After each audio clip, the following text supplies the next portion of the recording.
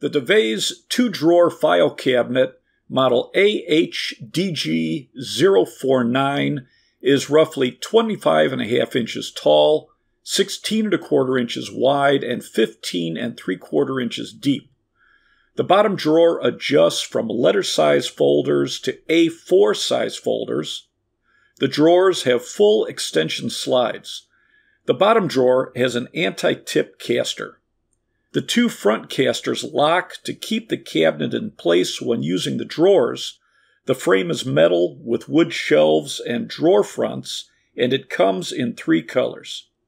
And I'll put a link to a video showing how to assemble it.